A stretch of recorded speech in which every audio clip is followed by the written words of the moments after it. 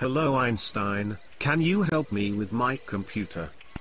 Oh yes, computers. What kind of help do you need? I'm getting a blue screen. I don't know if it's a virus or what.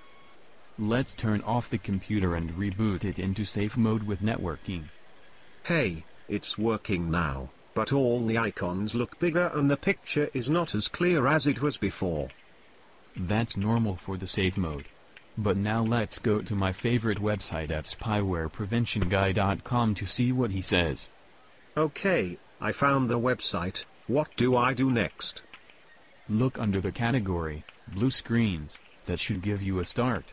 Sorry, but I have a very important equation I'm working on so I have to get back to my chalkboard. I prefer a chalkboard and a slide rule over a computer any day. Maybe so, but I don't think you can email a chalkboard.